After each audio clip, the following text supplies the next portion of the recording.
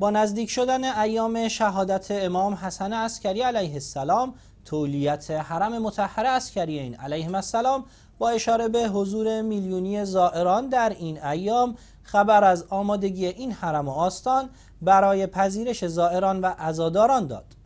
حجت الاسلام شیخ ستار المرشدی تولیت آستان مقدس عسکریین که در جلسه مدیران قسمت‌های داخلی حرم متحر سخن می گفت افزود بسیاری از زائران حرم متحر از سمت شرق به زیارت مشرف می شوند و لازم است به مسیرهای شرقی توجه بیشتری شود. مدیران قسمت های مختلف حرم متحر نیز گزارش هایی از فعالیت های انجام شده و آمادگی برای ارائه خدمات به میلیون ها زائر در روز شهادت امام حسن عسکری علیه السلام ارائه کردند.